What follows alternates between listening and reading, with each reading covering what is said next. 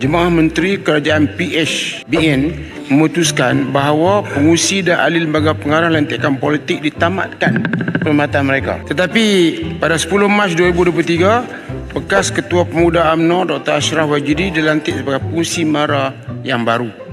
Ashraf Wajidi kawan baik saya. Jadi saya memang menyokong pelantikannya.